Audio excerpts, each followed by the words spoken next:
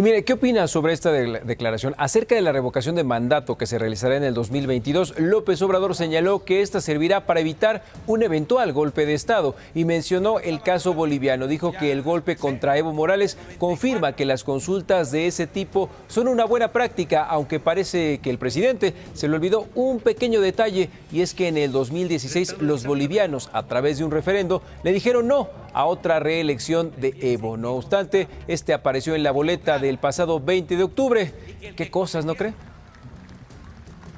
Y esto lo hacemos por convicción, pero también lo hacemos para que no se use la fuerza para destituir a una autoridad legal y legítimamente constituida. Por eso, siguiendo la tradición histórica, ejemplar de política exterior de nuestro país, se le dio asilo humanitario y político al presidente de Bolivia, Evo Morales.